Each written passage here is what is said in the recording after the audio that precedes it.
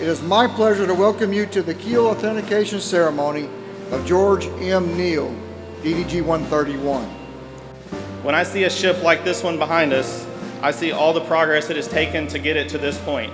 The flat plates of steel that have been rolled into the curvature of the ship. Equipment has been installed. Piping and ventilation have been run. Paint has been applied that will serve as the protective coating for the life of the ship.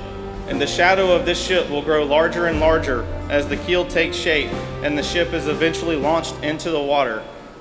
All of this work is made possible and accomplished by the outstanding shipbuilders of Ingalls Shipbuilding.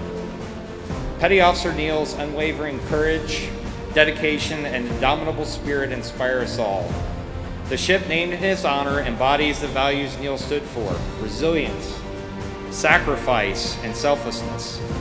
To the shipbuilding team of HII Ingalls and all those involved in this monumental undertaking, your work is the foundation upon which our naval strength stands.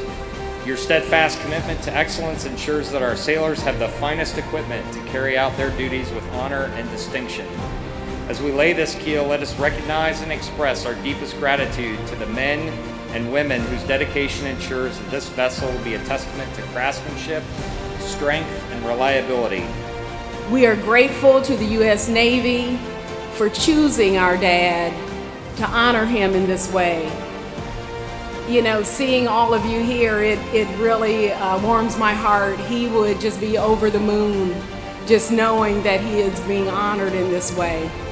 I hereby declare that the keel of the future of USS George M. Neal, DDG 131, has been truly and fairly laid.